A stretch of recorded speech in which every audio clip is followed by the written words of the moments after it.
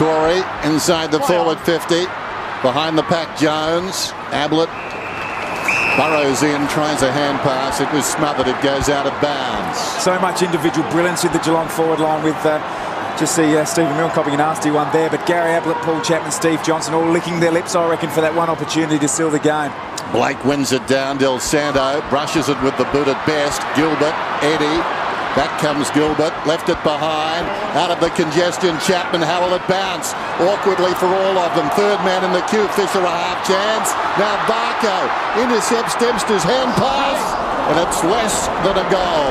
Still plenty of time, four and a half minutes of the G just spells danger, Varcoe, when he gets the ball. He hasn't got a lot yeah, of the ball, but no. when he gets it, you'll feel like something will happen all the time. Just the ball has hardly left Geelong's forward half for yeah. about five minutes. It's just so hard to defend without getting the ball out of your defence.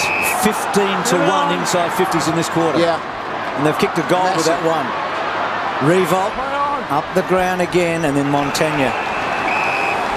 Blake and Gardiner, the two ruckmen out on the ground at the moment. That's going to be really important here, this, this stoppage here. St Kilda would love to get it out in open. Uh, sorry, Geelong would love to get it out in open. St Kilda really need to just batten down, surge it forward if they can. Gardiner probably just won the tap. Hayes went to ground. Stokes, Ray, ball comes out. High tackle, Selwood. Can you imagine a more painful loss for the Saints if they were to drop this one? Maybe well, last year's grand final. That's what I'll tell you. well, I think this reinforces what happened that day, though. I think they liked themselves tonight. Well, they at 33 points out looked home, didn't they? You take him out. You wouldn't think Iggy's going to be able to make the distance. No, the distance will trouble him. There we go, the talk. No, long drop punt. No, he's gone the talk, Lee. He struck it for distance. To behind. Not much of a judge, mate. Uh, they've actually, about five minutes now, they've hung on for St Kilda yep. without Geelong. Got yeah. a couple of behinds.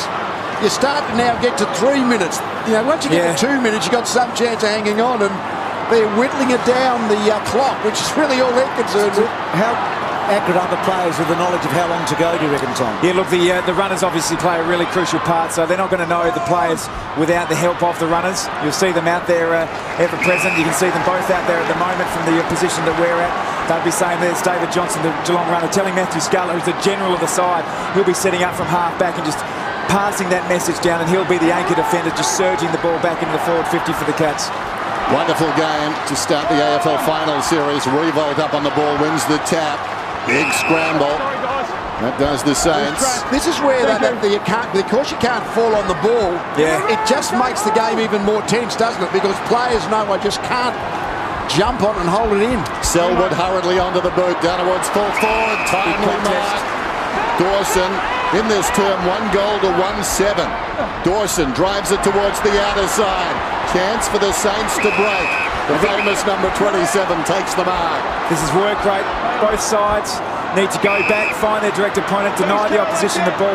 Also, the St Kilda players need to work their backsides off to create space not only for themselves but their particular teammates. So Gwilt, it's a long kick, kicks to a contest. Ah, Lovely mark by Scarlett. And Scarlett, oh, got slipping over Chapman. Hard ball for Gilbert. Oh, Brilliant nice. Hayes. Ball still to one. Gilbert there. Still not out this footy.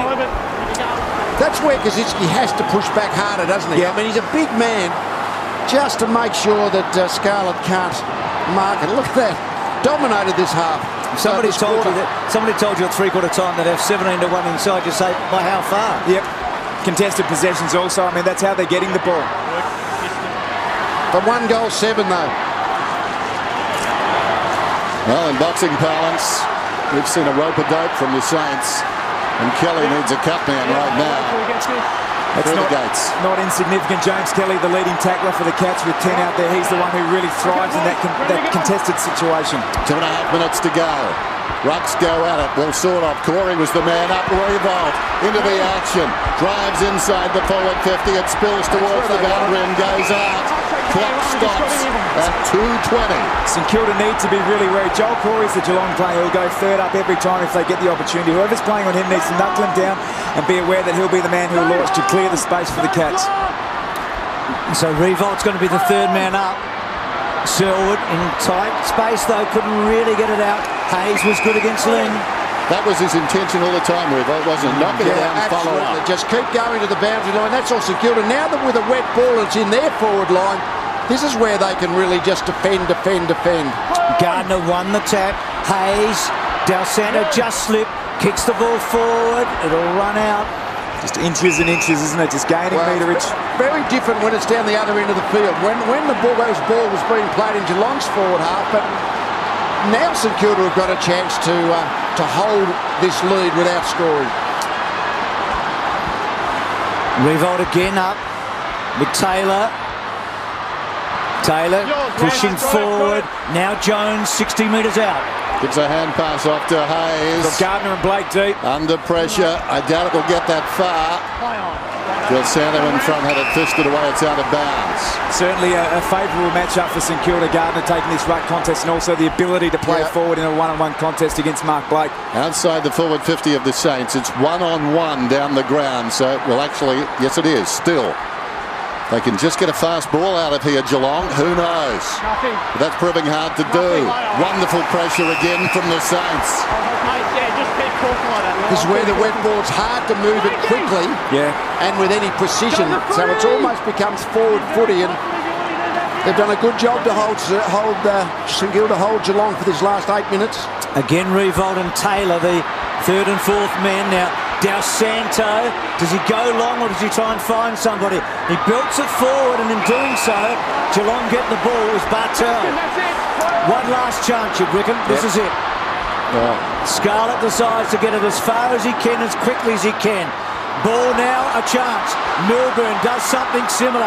Hacks it forward. The Could bouncing ball important. Dawson, Mooney, Gwilt, and now Ling. Oh, holding, Now back here. Holding the man for the St Kilda. Hello, controversy. I think they've kicked the I winning think goal. that's what we. Free kick. That was a free kick. It's in the back. Well, this is finals footy, isn't It's in the it? back. Stakes are so high. You just, you just lost it's us the game. kick. You just lost us the game. You just lost us the game. Hey, hang on. You understand that? Cam, it's not over. It's in the back. You understand that? You landed in his back, so it has to Mate, be. that was just a good clean tackle. Well, you He'll get, it he'll get 50 if he's not careful. They Stephen don't Mills need out here by 50. himself on the wing. He's come off the bench. Oh! To Still there. Gilbert. That was a clever oh. kick, actually. Drew Stokes to the man. Mm-hmm. It's all about possession now to for the Saints. We're down to 45 seconds. Now that's where it's down the line now for St Kilda. Down the line. Hold it in this last 40 seconds. Long down the line. That's what they're going to do. Peach goes for distance. High ball towards the attacking 50. Taylor from behind tries for the mark. It spills to Schneider. Brilliantly done. lucky. I think it was out of bounds. It was. We've got the call. Clock stops at 26. This could be a famous victory for St Kilda. Riewoldt. Selwood. Kicks to centre wing. Peake at the back. Milne quickly belts it on. Where you want it. They're safe. Geelong are going to have to play four consecutive weeks Yeah. to win a third grand final. Something they haven't done in 07 Well, they've done, I or oh when, they, 09. when they were goal in front with about eight minutes to go, I didn't think it was possible to hold on for eight minutes, but they've done it.